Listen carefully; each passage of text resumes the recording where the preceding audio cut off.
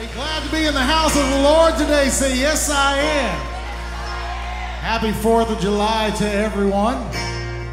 Hey, let's sing this together.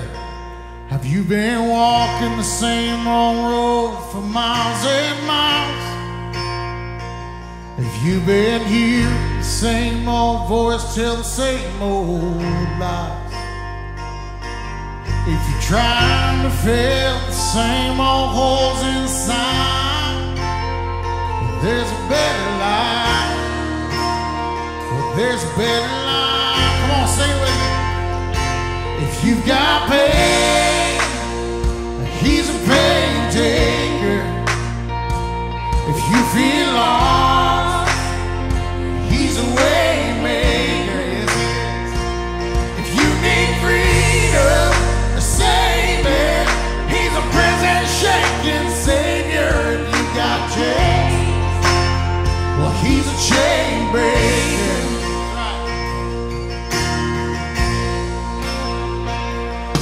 All searched for the light of day in the dead of night. We've all found ourselves worn out from the same old fight. We've all run the things we know just ain't right. But there's a better life. But there's a better life. If you got pain, he's a pain.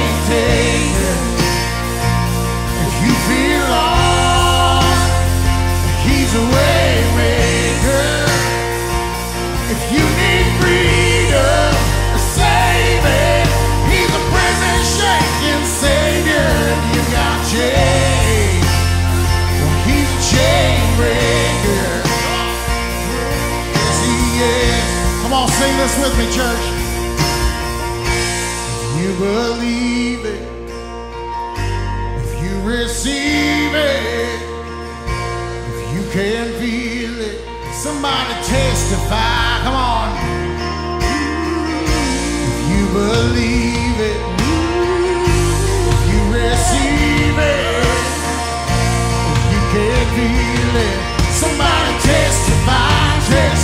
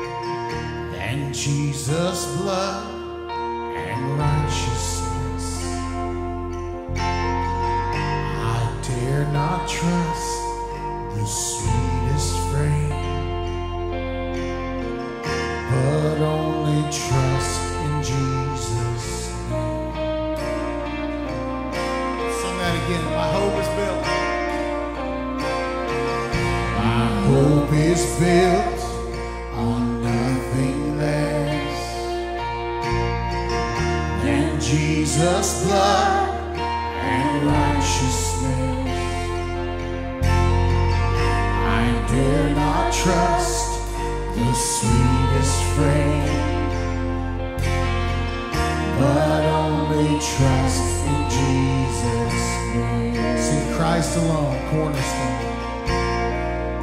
Christ alone, cornerstone.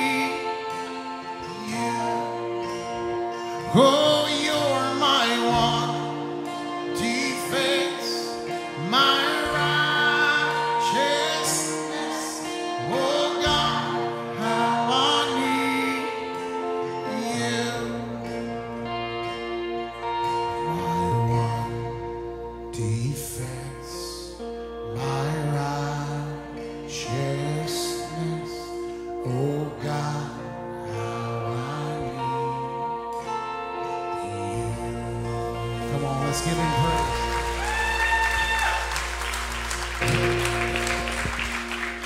You guys may be seated. And so, a week or two ago, I started reading this book. I decided I'm going to start reading more, which reading for me is very rare. But I decided I'm going to read this book, and it is titled Don't Waste Your Life. And, and I thought it would be a good book for me to start with because obviously I don't want to waste my life. I don't want to waste my time here on earth. And then the author, John Piper, is a very knowledgeable and insightful man. So, so I figured I'd give it a shot. In one, in one of the sections that I came across last week in this book, it talked about some of the sacrifices that Americans made during World War II. And so obviously, I wasn't around during World War II. I know I look pretty old, but I'm not that old. Uh, but I wasn't around, and honestly, I don't know much about the lifestyle, how people were living, the sacrifices that had to be made during World War II. So I, I found this section in this book pretty insightful. So it says during World War II, the entire nation seemed overnight to have snapped out of its Depression era lethargy. Everyone scrambled to be of help. Rubber was needed for the war effort, and gasoline and metal. A women's basketball game at Northwestern University was stopped so that the referee and all 10 players could scour the floor for a lost bobby pin. Americans pitched in to support stricter rationing programs, and their boys turned out as volunteers in various collection drives. Soon, butter and milk were restricted, along with canned goods and meat. Shoes became scarce, and paper and silk. People grew victory gardens and drove at gas saving victory speed of 35 miles an hour. Use it up, wear it out, make it do, or do without became a popular slogan. Air raid sirens and blackouts were scrupulously obeyed. America sacrificed. And so that, that last sentence of that section, America sacrificed, made a question for the church. And that question is Will the church sacrifice? Because as the church, as Christians as a whole, we are really good at being comfortable. Like we're really good at going through the motions of everyday life. Like we're really good at working our eight to five work jobs and, and doing that day after day after day. We're really comfortable of attending church on a Thursday night or a Sunday morning and that being our only interaction with our Creator. And we're really comfortable with allowing plans, events, activities get in the way of furthering our relationship with God. But during this time of communion, we remember the greatest discomfort, the greatest sacrifice that was ever made for us, and that was Jesus giving his own life, dying on the cross for you and for me. And so, as you walked in this morning, you should have been handed a cup containing the elements. And with this cup, you'll find a small piece of bread which represents Jesus' body, and juice that represents Jesus' blood. See, Jesus, He was willing to die for us, and in return, we should be willing to live for Him. We need to be seeking discomfort in our walks with Christ. And when I tell you to seek discomfort, I'm not telling you to find the most uncomfortable way to sit in your seat while you're at church, but I'm asking you to stretch yourself, to grow in your relationship with Christ. Whether that discomfort is sharing the good news with your friends, family, or coworkers or whether it's stepping out of your comfort zone and picking up your Bible, even though you may not understand all of it, cho- choosing a couple verses a day, a chapter a day, and growing in your knowledge of Christ. We as Christians are to seek discomfort, to make sacrifices, to be living sacrifices for Christ. And so, as we go through this time of communion, may we remember the great sacrifice that Jesus made for us. Let's pray. Dear God, I just thank you for this morning and just the opportunity to gather as believers and to worship your great name. And I, God, I think for sometimes we take it for granted, just the opportunity and the ability that we have to come to this facility and to worship you and to sit uh, peacefully, not, not really worrying about what's going to happen to us for being followers of you. And God, I believe that sometimes that comfort can lead to contentment in that we just go through the motions of being a Christian, that we aren't living sacrifices for you. And so, God, I pray that as we remember your great sacrifice, that we in return give our lives fully to you, that we walk the walk and talk the talk and live fully for you. God, we love you and we praise you. And I praise your name. Amen.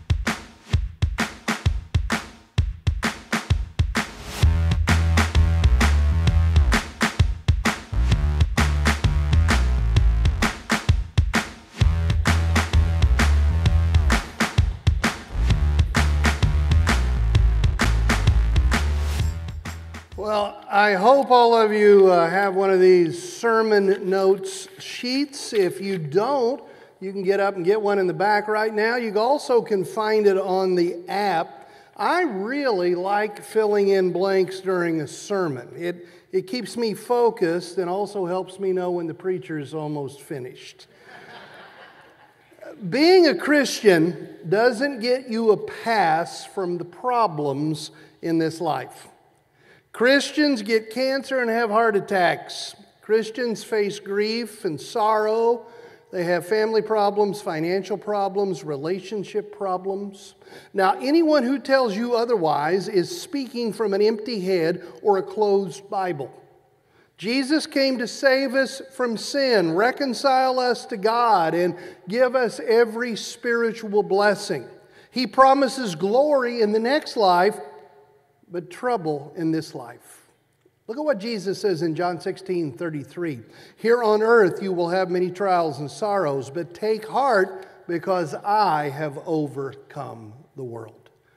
Years ago, Paul Stoltz wrote this book, Adversity Quotient turning obstacles into opportunities.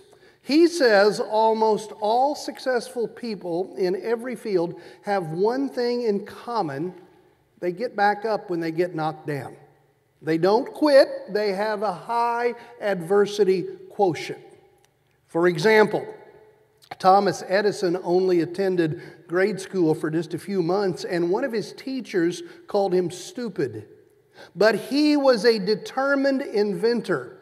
It took him 20 years and 50,000 experiments to invent a light, durable, efficient battery as an independent power supply. Someone said to Edison, You failed 50,000 times. What makes you think you will ever get results? He answered, Results? I've gotten a lot of results. I know 50,000 things that won't work.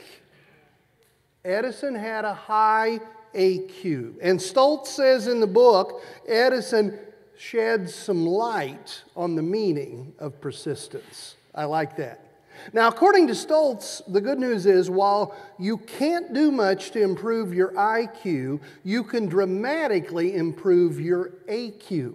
You can improve your ability to face challenges.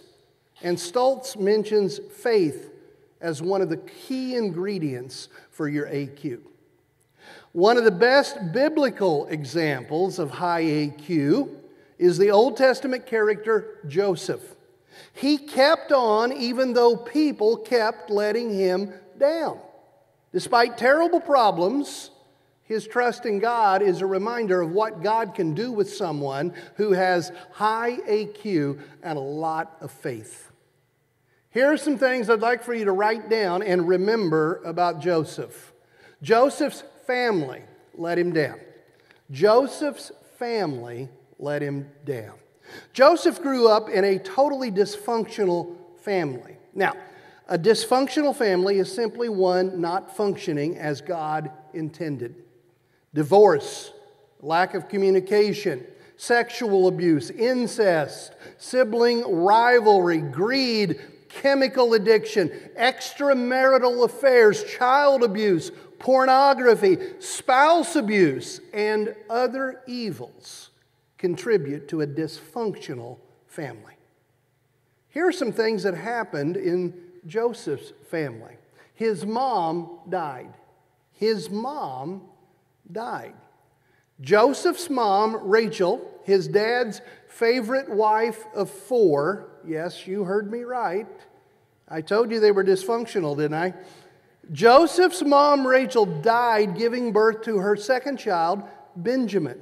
Now, Joseph was just a kid when his mom died, and her death must have had a big impact on him. His dad spoiled him. Next blank on your notes. His dad spoiled him. Joseph was Jacob's favorite son, the firstborn son of Jacob's favorite wife. Now, Rachel, she was childless for years.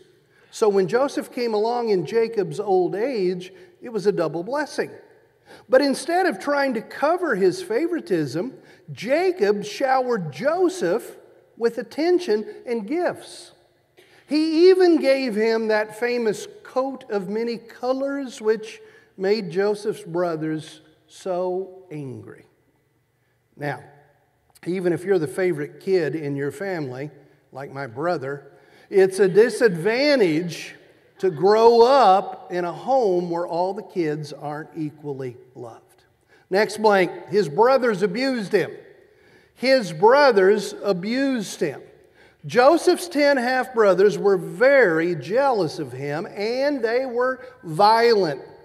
Now, Joseph made the mistake of telling them about a dream he had where their bundles of grain bowed to his bundle of grain and their stars bowed to his star. Genesis 37, verse 8. His brothers responded, So you think you will be our king, do you? Do you actually think you will reign over us? And they hated him all the more because of his dreams and the way he talked about them. Now, Jacob did not understand how much his boys hated Joseph, so he made a big mistake. He sent Joseph out to check on his brothers while they were tending sheep. Jacob shouldn't have played favorites. He shouldn't have put up with his son's jealousy. And he definitely should not have sent Joseph out alone to meet his brothers. Joseph's brothers abused him. Now, you all probably know the story. They saw him coming and they said, This is our chance, let's get rid of him. So they attacked him, they ripped off that special coat, they beat him, and they threw him into a dry cistern to die. When some traders came by, they sold their own brother into slavery. Joseph, at age 17, was taken away from everything he'd ever known, and he became a slave. Maybe you were let down by family members. Maybe your parents spoiled you, or maybe they were overly strict and you still have some scars. Maybe your relatives abused you physically, emotionally, sexually, and you still wrestle with memories, flashbacks, resentment. Maybe a spouse let you down by breaking marriage vows or lying to you. Maybe your kids disappointed you. As tough as those situations are, you don't have to quit. Regardless of your past, you can have a high AQ. Joseph is proof there's hope. Joseph was faithful to God even though his family let him down. When Joseph got to Egypt, he became the slave of Potiphar, the head of security for Pharaoh, king of Egypt. Joseph didn't pout, refuse to work, wallow in resentment. No, he worked hard, deciding if he had to be a slave, he was going to be the best slave he could be. Here's the next thing to remember about Joseph Joseph's boss let him down. Joseph's boss let him down. Genesis 39, verses 2 to 5. The Lord was with Joseph, so he succeeded in everything he did as he served in the home of his Egyptian master. Potiphar noticed this and realized that the Lord was with Joseph, giving him success in everything he did. This pleased Potiphar, so he soon made Joseph his personal attendant. He put him in charge of his entire household and everything he owned. From the day Joseph was put in charge of his master's household and property, the Lord began to bless Potiphar's household for Joseph's sake. All his household affairs ran smoothly, and his crops and livestock flourished. Well, life is getting better for Joseph. God is with him. He works hard. He's doing well. He gets promoted. But then, one day, a different kind of trouble hits Joseph. Genesis 39, 6 and 7. Joseph was a very handsome and well built young man, and Potiphar's wife soon began to look at him lustfully. Come and sleep with me, she demanded. As a slave, Joseph couldn't totally avoid his master's wife, but he resisted the temptation.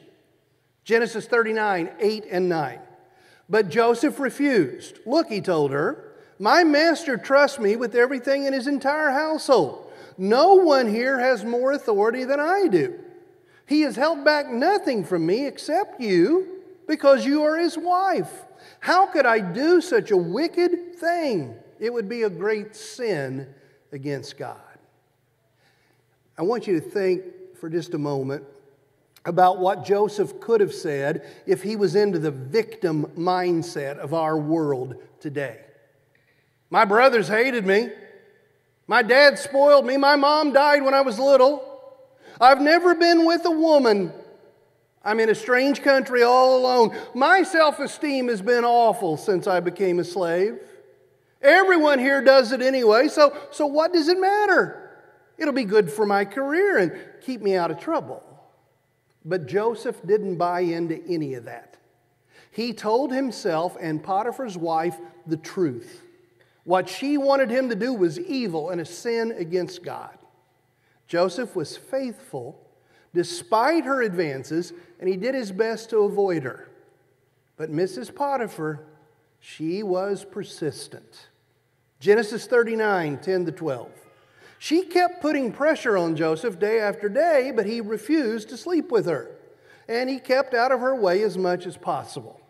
One day, however, no one else was around when he went in to do his work. She came and grabbed him by his cloak, demanding, Come on, sleep with me. Joseph tore himself away, but he left his cloak in her hand as he ran from the house. Potiphar's wife is going to make Joseph pay for turning her down and hurting her pride. Genesis 39, 16 to 20. She kept the cloak with her until her husband came home. Then she told him her story. That Hebrew slave you've brought into our house tried to come in and fool around with me, she said.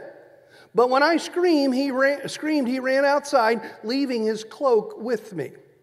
Potiphar was furious when he heard his wife's story about how Joseph had treated her. So he took Joseph and threw him into the prison where the king's prisoners were held, and there he remained. Potiphar sided with his wife. Joseph was completely loyal to his boss, but he still gets thrown in prison. So now Joseph is worse than a slave, he's a convict. But Joseph stayed faithful to God despite terrible treatment from his boss. Maybe you have been let down at work. Maybe you gave your life to the company, and then one day the boss said, We appreciate you, but the company's been sold, your job is gone. Maybe your boss asked you to do something immoral or dishonest and then demoted you or fired you when you wouldn't do it. Maybe you worked hard for years, but then a relative of the boss or a relative of the owner was promoted ahead of you. Maybe a coworker sabotaged you. Maybe you went into business with a friend, but your friend cheated you, took advantage of you, falsely accused you, ruined you. When those things happen, you can be devastated, bitter, or you can have a high AQ. Even in prison, Joseph did well. Now, I think a lesser man would have quit, maybe thought about suicide. Even a good man would have just tolerated it, put in his time, hoped for something good to happen. But Joseph did his best, even in prison. Genesis 39, 21 to 23. But the Lord was with Joseph in the prison and showed him his faithful love. And the Lord made Joseph a favorite with the prison warden. Before long, the warden put Joseph in charge of all the other prisoners and over everything that happened in the prison. The warden had no more worries because Joseph took care of everything. The Lord was with him and caused everything he did to succeed. Two things helped Joseph in prison. First, God was with him. God blessed him. God showed him his faithful love. And second, Joseph wouldn't give up. Joseph kept believing, kept enduring, kept giving God opportunities to use him. Folks, God blesses effort. He asks us to go the extra mile, do our best, work hard, not get tired of doing good. Proverbs 13, verse 4. Lazy people want much, but get little. But those who work hard will prosper. Here's the next thing to remember about Joseph Joseph's friends let him down. Joseph's friends let him down. Pharaoh got mad at his chief wine taster and chief baker, and he threw them both in prison. Joseph became friends with them because they were in the cell block he was managing. One morning, Joseph noticed both men were depressed, and he asked what was wrong. Genesis 40, 8 to 11. They replied, We both had dreams last night, but no one can tell us what they mean. Interpreting dreams is God's business, Joseph replied. Go ahead and tell me your dreams. So the chief cupbearer told Joseph his dream first. In my dream, he said, I saw a grapevine in front of me. The vine had three branches that began to bud and blossom, and soon it produced clusters of ripe grapes. I was holding Pharaoh's wine cup in my hand, so I took a cluster of grapes and squeezed the juice into the cup. Then I placed the cup in Pharaoh's hand. Joseph said, That's easy. In three days, Pharaoh will restore you to your position. You're out of here. You're back in the palace. But listen, when you get back to Pharaoh, remember me and get me out of this prison. Well, the baker was encouraged. He decided to tell Joseph his dream. Genesis 40, 16 and 17. When the chief baker saw that Joseph had given the first dream such a positive interpretation, he said to Joseph, I had a dream too. In my dream, there were three baskets of white pastry stacked on my head. The top basket contained all kinds of pastries for Pharaoh, but the birds came and ate them from the basket on my head. Joseph says, Is your insurance, your life insurance policy all paid up? Get your house in order in three days. Pharaoh's going to hang you on a tree and birds will eat your flesh. Well, it happened just as Joseph predicted. The baker was found guilty and executed. The wine taster was restored to his position. But Joseph's friend, the wine taster, the cupbearer, he let him down. Joseph's kindness was repaid with forgetfulness. For two years, the cupbearer completely forgot about Joseph. Folks, even friends who have every intention of helping you will let you down because they are human. Now, it may be something minor like forgetting to call you back or forgetting your birthday. It may be something major like betraying you or stealing your money or stealing your mate. That reminds me of that old country song, the, the one that says, My wife ran off with my best friend, and boy, do I miss him. Friends can let you down. Even Jesus was betrayed by Judas, a friend. Now, when a friend betrays you, it's devastating. You believed in him, you were loyal to him, you were convinced he'd be loyal to you. When a friend lets you down, you are tempted to just quit on everybody to protect yourself. But Joseph was faithful to God despite his friends letting him down. For two years he suffered but was faithful in prison. Genesis 41 1. Two full years later, Pharaoh dreamed that he was standing on the bank of the Nile River. Well, Pharaoh starts looking for someone to interpret his dream, and the wine taster finally, finally remembers Joseph. He tells Pharaoh, Two years ago, I had a dream in prison, and a guy named Joseph interpreted it perfectly. Joseph is brought from the prison to interpret Pharaoh's dream. The king is so impressed, he makes Joseph the number two man in all the land. Well, guess who now has Joseph as a boss? The wine taster. Joseph could have called him in and said, You let me suffer for two years in prison? What kind of friend are you? But there's no hint he held a grudge. I think after all Joseph went through, he probably wasn't surprised his friends let him down. Now, there are three lessons I want us to take home from Joseph. Three lessons that should help us hang on when people let us down. Fill in the next blanks, okay? All people are imperfect. Expect some disappointment. All people are imperfect. Expect some disappointment. People aren't 100% good or 100% bad. Some are 98% good, others are 98% bad. Most are somewhere in between. Even the worst people have some good qualities. Even the best people are capable of sin. Lesson number two have a high adversity quotient in your relationships.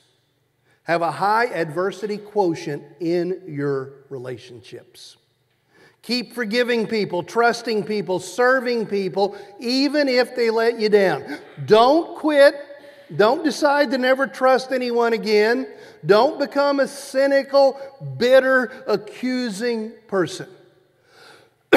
Joseph never let his disappointment in people destroy him.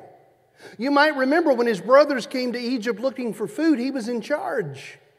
Well, they bowed down to him just as Joseph had predicted. And it was Joseph's chance to get even. But he didn't strike back. He forgave them and provided for them. Years ago, an anonymous writer wrote the Ten Commandments of Leadership.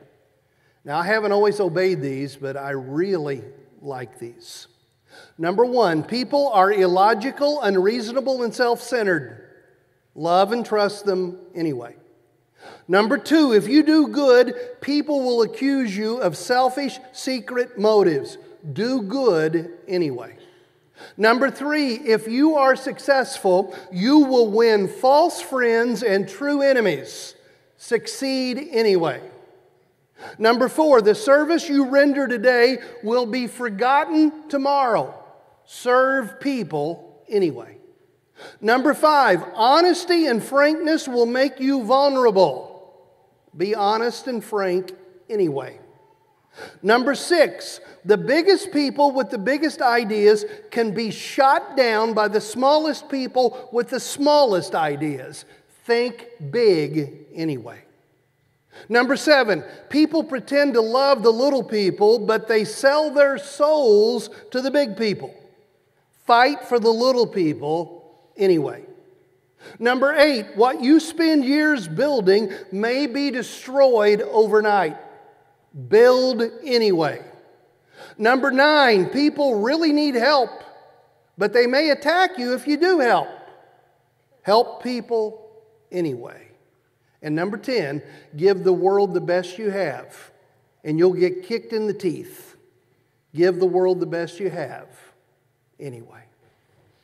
Lesson number three on your notes about Joseph put your total trust in God. Put your total trust in God. He's the only one worthy of complete trust. Proverbs 3 5 and 6. Trust in the Lord with all your heart. Do not depend on your own understanding. Seek His will in all you do, and He will show you which path to take. My favorite preacher, Bob Russell, still talks about a sermon he heard when he was in Christian college over 55 years ago. Here are the three main points of that sermon. First, trust yourself, but not too much.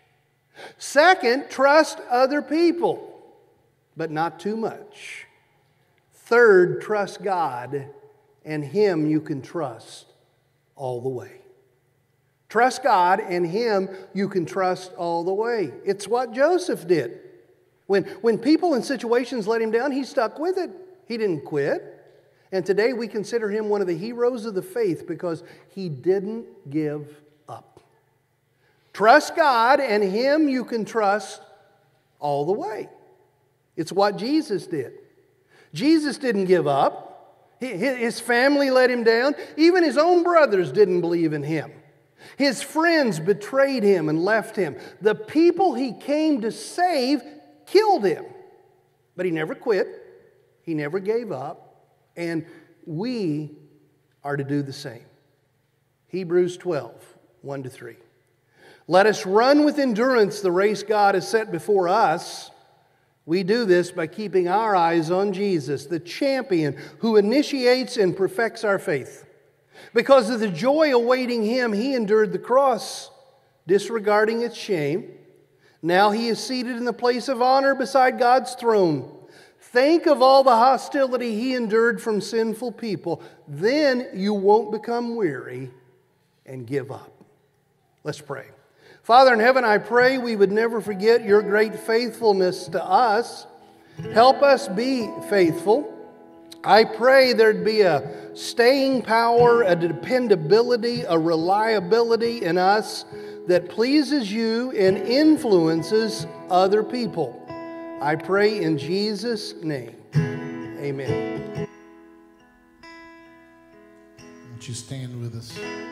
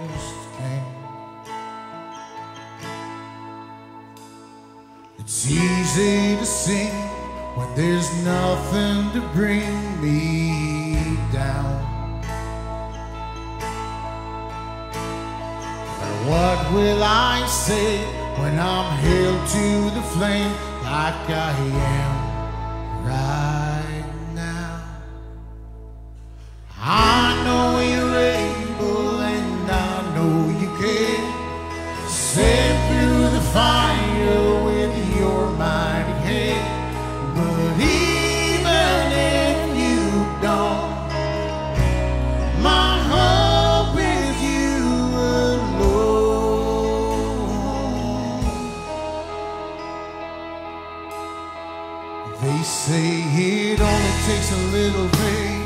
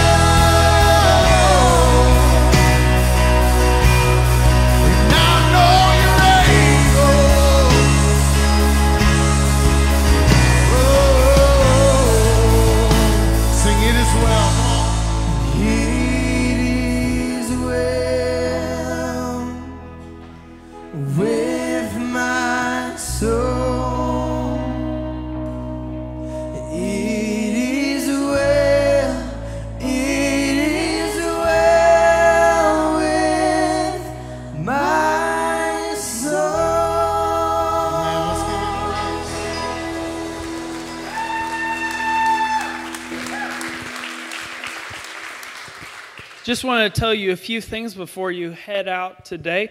The first being in my community meditation, I talked about offering, uh, about sacrifice, sorry. And sometimes offering can feel like a sacrifice, but I like to think of it as an eternal investment, investing into the church to further the gospel, investing into our kids and youth programming, and investing into our missionary partners who are doing awesome things all across the world. And you can give by visiting our website, 1c.church, or you can drop your tithes and offerings in the giving walls on your way out from service.